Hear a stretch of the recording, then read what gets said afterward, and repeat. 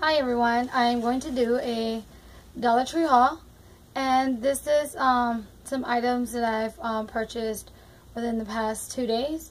I know I just posted a video, I believe yesterday, but there were some items that I had purchased a couple days before. So um, I just want to get started with um, telling everybody thank you for watching my channel and I will get started with some things that I've got. So the first um, couple items that I got are these um, puzzle erasers. And they got three of the Lalaloopsies. And that's what the first one looks like. So this is just like the pink, um, the one with the pink hair and the pink hat. And then the other one is the one with the orange hair and the little owl. And then the last one is the one with the blue hair and the little mouse. And then I got three of the Barbie ones, which this one has a bow, a bow, a hairbrush, and then a blow dryer. And the next one has some sunglasses, a shoe, and a purse. And the last one that I got, I opened it because I wanted to see how it looked. So this one just has like a little um, bottle of perfume, and nail polish, and a lipstick. So these are what they look like. The lipstick, because you know how it says puzzle erasers.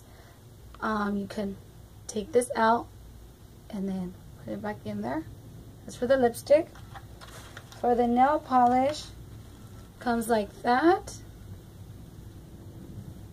But then you can take the top off and then the little bolt comes off too. It has like little holes where you can place them. So that's why they're called puzzle erasers. So the perfume bottle comes like that. And then like you can take the little top off and put it back in there and then the little black bolt comes off and there's like little hole right there where the little bowl goes. So that's what the erasers, the puzzle erasers are. So, which I thought they were cute. I got them for my daughter. And at the Dollar Tree. And I don't know if they still have these, but you can check these out. Because I know at my Dollar Tree, they only have like one box of each. So I got that. And then I got, what is it? Well, I got two items that I'm going to return. And it's these um stickers. I have some on me. As you can see right there. They're the nail art stickers. Just peel and stick. I got these in the leopard or cheetah and pink. And then I got these in like mustache and then different colors. And then I got the other ones already opened and I have them on. So I tried these. These were like little chevron with the pink and the hearts and like that. But these I didn't like. So that's why I'm going to go return the other ones because they have like little bubbles. They come off and I just don't like them. I don't know if they're just like for kids just to play around with, but I didn't like these. So I'm going to return two of those. But the other things that I got were makeup related. So I picked up one of these um, swirl lip glosses. So this one's Nude Swirl. That's the nude one. And then I got the other one in peach. Which looks like this. And then I got this um, other lip gloss in Happiness. These, this one I already opened. So that's what it looks like. And this just, this one's like kind of like clear.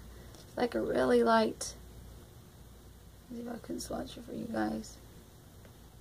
You can't even see it. So this is like a, um,